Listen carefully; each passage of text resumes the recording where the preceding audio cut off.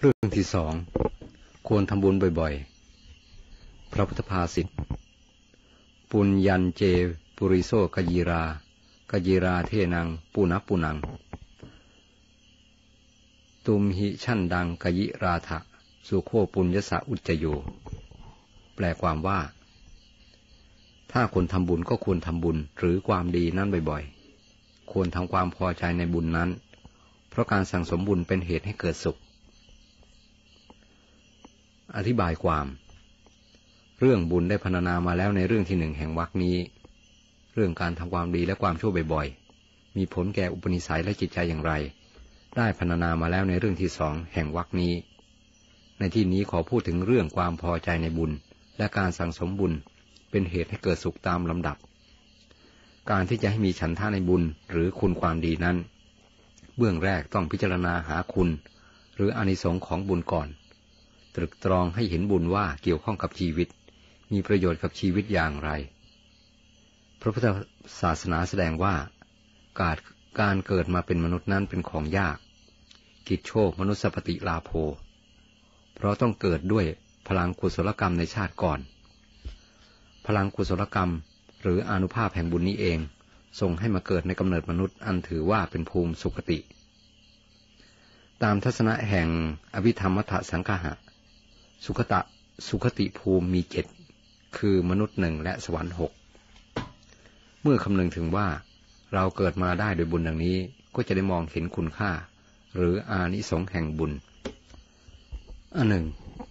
แม้เกิดมาด้วยบุญแล้วก็ยังมีการแบ่งแยกว่า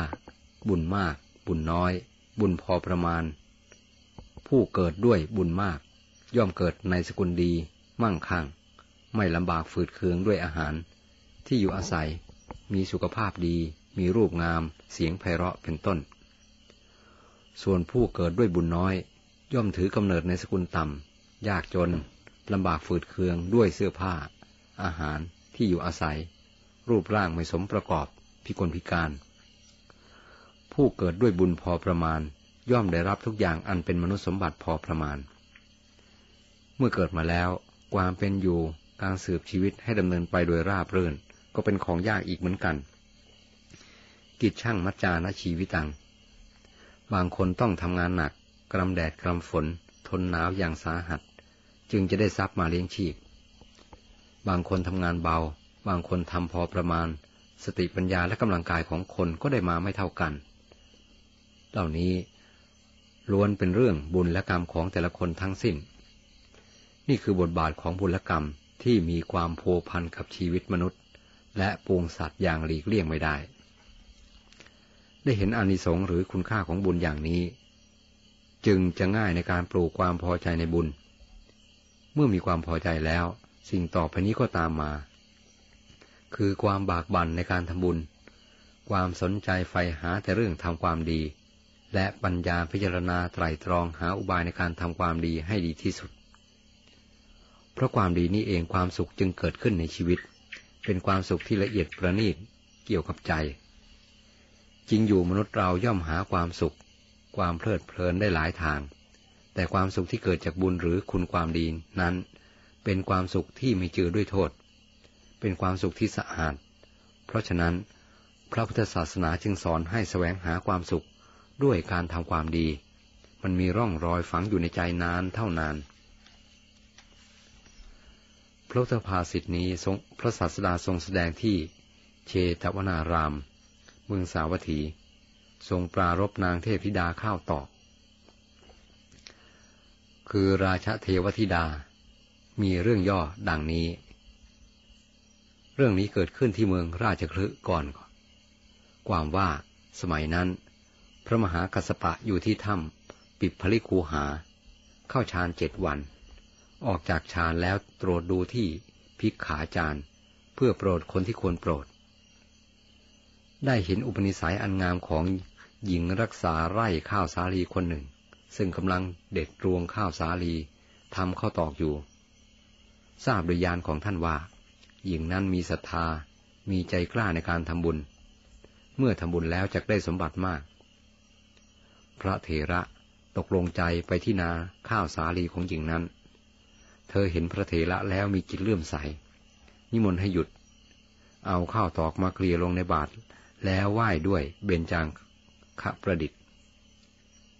เบญจางคประดิษฐ์นั้นคือการไหว้ที่ประกอบด้วยองค์ห้า คือ หน้าผากหนึ่งเข่าทั้งสอง และฝ่ามือสอง จดลงกับพื้น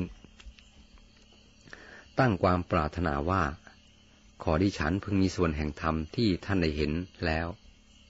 หมายความว่า ขอให้ได้บรรลุธรรมที่ท่านบรรลุแล้วบ้าง พระมหากัสปะอนุโมทนาว่า ขอความปรารถนาเช่นนั้นจงสำเร็จเถิด นางไหว้พระเถระแล้วเดินกลับ งูพิษตัวหนึ่งกัดนางถึงตายที่ขนานั่นเอง เธอมีจิตเลื่อมใสทำกาละแล้วเกิดในวิมานทองในภพดาวดึง ประดับด้วยเครื่องอลังการทุกอย่าง เหมือนหลับแล้วตื่นขึ้น นางนุ่งผ้าทิพผืนหนึ่งห่มผืนหนึ่ง มีนางเทพอับสรจำนวนพันแวดล้อม ยืนอยู่ที่ประตูวิมานอันประดับด้วยขันทองคำเต็มด้วยข้าวตอกย้อยระยะ นางใคร่ครวญว่า สมบัติเห็นป่านี้เราได้เพราะอาศัยอะไรหนอ ได้เห็นว่าพระถวายข้าวตอก แด่พระมหากัสปะ เธอคิดต่อไปว่า เราได้สมบัติเห็นป่านนี้เพราะบุญเพียงเล็กน้อย เราไม่ควรประมาท ควรจักไปทำการบำรุงพระเถระทำสมบัติให้ถาวร ดังนี้แล้วถือไม่กวาดและกระเช้าสำหรับเทขยะ มูลฝอยทำด้วยทองคำไปกวาดบริเวณที่อยู่ของพระเถระ ตั้งน้ำฉันน้ำชายไว้แต่เช้าตรู่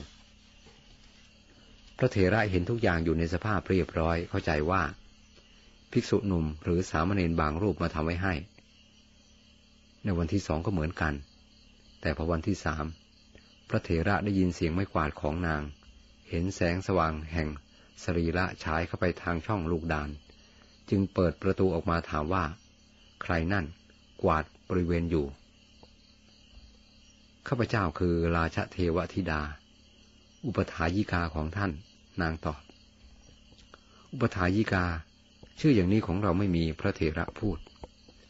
นางเล่าความเป็นมาทั้งปวงให้ท่านฟัง เธอมาทำให้ทั้งเมื่อวานซืนและเมื่อวานนี้ด้วยหรือ ใช่พระคุณเจ้า จงกลับไปเสถิดเทพธิดา ที่ทำแล้วก็เป็นอันแล้วไป ต่อไปอย่ามาทำอย่างนี้อีก ขอได้โปรดเถิดพระคุณเจ้า ขอให้ข้าพเจ้าได้ทำกิจนี้ต่อไป เพื่อรักษาสมบัติของข้าพเจ้าให้มั่นคง หลีกไปเถิดเทพธิดาอย่าได้มาทำอย่างนี้อีก พระเถระขอร้องแกมบังคับ การกระทำของท่านไม่เหมาะแก่เรา พระธรรมกถึกรุ่นหลังจากตำหนิเราได้ว่า ได้ยินว่า เทพธิดานางหนึ่งมาปฏิบัติพระมหากัสปะอยู่เป็นประจำ มีการตั้งน้ำฉันน้ำใช้เป็นต้น เธอจงไปเถิดแล้วจะมาที่นี่อีก นางอ้อนวอนอยู่หลายครั้ง แต่พระเถระหายอมไม่ ในที่สุดท่านกล่าวว่า เจ้า ไมิได้รู้จักประมาณตนซะเลย นางไม่อาจรังรออยู่ได้อีกต่อไป จึงเหาะขึ้นไปในอากาศ ประคองอัญชลี ร้องให้คร่ำครวญอยู่ว่า ท่านเจ้าข้าโปรดอย่าให้สมบัติที่ข้าพเจ้าได้แล้วต้องพินาศเสียเลย จงอนุญาตให้ข้าพเจ้าทำกรรมเพื่อความมั่นคงแห่งสมบัตินั้นเถิด พระศาสดาประทับนั่งอยู่ในคันธคุดี ทรงสดับเสียงเทพธิดานนั้นร้องไห้ ทรงแผ่พระรัศมีไป ประดุดประดประทับนั่งอยู่ตรงหน้าของนาง พลางตัดว่า ความสำรวมระวังเป็นหน้าที่ของกัสปะบุตรของเรา ส่วนการทำบุญเป็นหน้าที่ของผู้ต้องการบุญ การทำบุญเป็นเหตุให้เกิดสุขทั้งในภพนี้และภพหน้า ดังนี้แล้วทรงแสดงธรรมสืบต่อไปว่า ปุญญันเจปะปุริโซกยีราเป็นต้น ความว่า ถ้าบุคคลจะทำบุญควรทำบุญนั้นบ่อยๆ มีนัยยะดังพรรณนามาแล้วแต่ต้น เมื่อพระศาสดาเทศนาจบลง เทพธิดาได้สำเร็จโสดาปฏิผลในอากาศนั่นเอง ขอกล่าวถึงจริยาของพระมหากัสปะอีกเล็กน้อย โดยปกติท่านเป็นผู้สำรวมระวังเคร่งครัดมาก ได้งดเว้นการกระทำอันจักเป็นตัวอย่างทางไม่ดีแก่ผู้อื่น และกระทำกิจอันจักเป็นตัวอย่างทางดีแก่คนรุ่นหลังไว้มาก แม้เรื่องนี้ก็เช่นเดียวกัน หากท่านเฉยเสียก็ไม่มีความเศร้าหมองแก่ท่าน เพราะท่านเป็นอรหันต์หมดกิเลสแล้ว ใครๆก็รู้ แต่ท่านเกรงว่า อนุบรรพชิตในรุ่นหลังจักถือเอาเป็นเยี่ยงอย่าง ด้วยอ้างท่านมมหากัสปะเป็นอุทาหรณ์ว่า แม้ท่านมหากัสปะเถระ ยังมีนางเทพธิดามาอุปถาบำรุง ปัดกวาดเสนาสนะและตั้งน้ำฉันน้ำใช้ไว้ให้ฉไหนเราพวกเราจะมีสตรีไว้ปฏิบัติหน้าที่เช่นนั้นบ้างไม่ได้ ดังนี้แล้วพากันมั่วสุมด้วยสตรี มีสตรีอยู่ใกล้ชิด ความด่างพร้อยแห่งศีล ความวิบัติแห่งศีลก็จะเกิดขึ้นแก่ภิกษุเป็นอันมาก ปฏิปทาของพระมหากัสสปะในเรื่องนี้น่าจะเป็นเนติ หรือทิฏฐานุคติอันดีของพระทุกยุคทุกสมัย โดยเฉพาะพระผู้ใหญ่ซึ่งต้องอบรมคุลบุตรเป็นอันมาก ควรเว้นขาดจากการกระทำทุกอย่างอันจะเป็นตัวอย่างทางไม่ดี แก่อนุชนรุ่นหลัง